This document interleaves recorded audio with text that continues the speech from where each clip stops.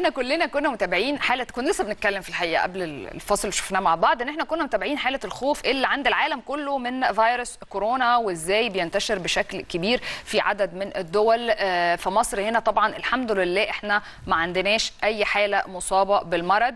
كمان الحالة الوحيدة كانت لشخص أجنبي وده اتقال وقلنا الحالة بالتفصيل وتابعنا كمان الحالة اللي كان حامل لهذا الفيروس وكمان ده خلاص خرج وما فيهوش مشاكل.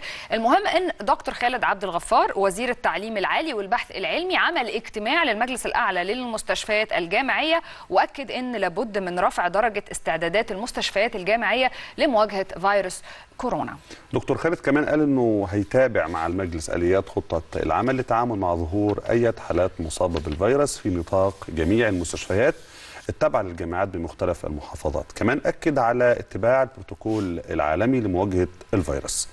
خلونا نستقبل اتصال آه، من آه، الدكتور عادل عبد الغفار المتحدث باسم وزارة التعليم العالي. صباح الورد يا دكتور عادل. لا صباح النور على حضراتكم. صباح الفل. معلومات أكتر يا دكتور عن الموضوع ده. آه، زي ما حضراتكم أشرتوا إحنا أصلا مشكلين غرفة عمليات برئاسة السيد الوزير منذ بداية انتشار هذا الفيروس على المستوى العالمي. وحضراتكم تعلموا إن المستشفيات الجامعية موجودة في كل محافظات مصر فبالإضافة لغرفة العمليات وحدات الترصد الوبائي في كافة المستشفيات الجامعية يعني على أهبة الاستعداد في هذا الشأن. المسار الثاني حضراتكم كل الجامعات آه، فيها ندوات توعية منذ بداية اليوم الأول للدراسة في الفصل الدراسي. كنا شغالين في الأجازة من منتصف العام الدراسي في إعداد أدوات التوعية المختلفة ومع بداية الدراسة تم نشر كل أدوات التوعية.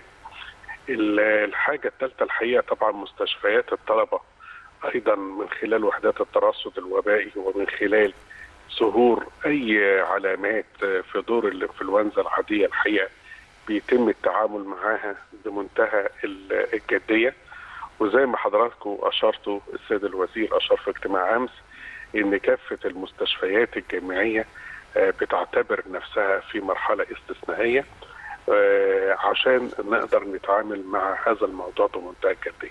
آه، دكتور عادل يعني حضرتك شرحت لنا دلوقتي الإجراءات كمسؤول ولكن حضرتك كمواطن إيه رأيك في حالة الفزع اللي موجوده على شبكات التواصل الاجتماعي لدرجة إن في ناس بقت تتريق تقول لك ده في ناس نفسها ان يبقى في كورونا من كتر ما هم مش عايزين يستوعبوا إن مثلا بيتقال أول آه، بأول بيانات رسمية بإنه يا جماعة الفيروس مش موجود في مصر يعني آه، وكان في حالة حد أجنبي يعني وهكذا حضرتك بت- بتشوف ده إزاي؟ طبعا في حضراتكم في حالة وجود أي أزمة أو أي ظروف استثنائية متوقع إن فيها حجم الشائعات والأخبار الكاذبة للأسف بيكون آه، منتشر بشكل كبير جدا. لكن إحنا بنناشد الرأي العام وبنناشد الرأي العام الطلابي على وجه التحديد إنه ليست هذه فترة ترويج إشاعات وليست هذه فترة ترويج أخبار كاذبة ولسنا مضطرين على أي مستوى إن إحنا نعتم على أي معلومة من المعلومات على الإطلاق يعني.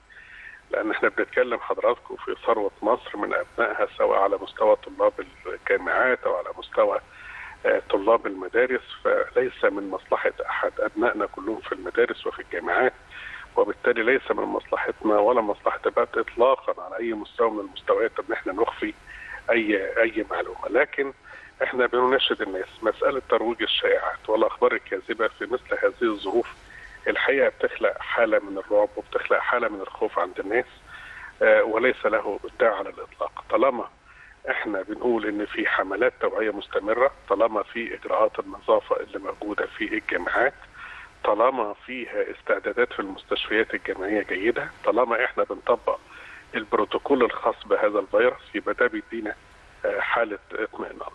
دكتور خطة العمل اللي اتكلم عنها آه، الوزير دكتور خالد هل هي خاصة بكل المواطنين آه، أي مواطن يروح لأي مستشفى جامعي يتعالج ولا ده معمول بشكل خاص لطلبة الجامعات؟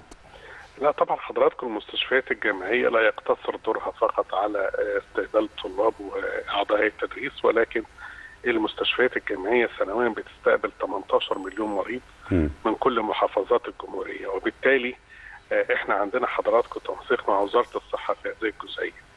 في حالة آه، وجود آه، لا قدر الله إذا إحنا اكتشفنا أي حالة في المستشفيات الجامعية سواء من طلاب الجامعات أو من أعضاء التدريس أو العاملين أو المواطنين لأنه بيرتاد المستشفيات الجامعية عدد كبير من المواطنين من طالب الخدمة الصحية والعلاجية في كافة التخصصات. بالتأكيد طبعا في تنسيق مع قطاع الطب الوقائي بوزارة الصحة. عشان يتم نقله عشان يقدر ياخد الخدمة اللي يستحقها. بشكرك شكرا جزيلا دكتور عادل عبد الغفار المتحدث باسم وزارة التعليم العالي